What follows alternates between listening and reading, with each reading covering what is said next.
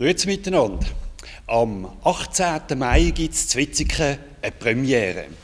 Und zwar brechen wir auf zum ersten Quartierspaziergang von diesem Jahr.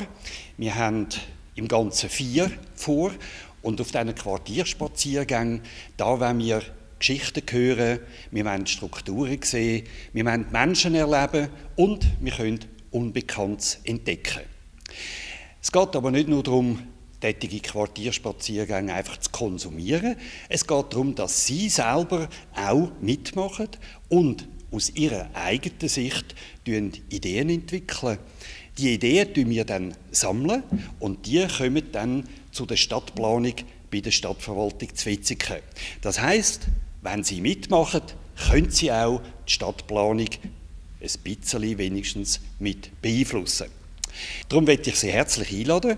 Am Samstag, am 18. Mai, am Nachmittag um 2, da treffen wir uns vor einem Mittaglock, das ist an der Bahnhofstrasse 208, und würden dort zu einem Spaziergang ins Bekannte, Unbekannte aufbrechen.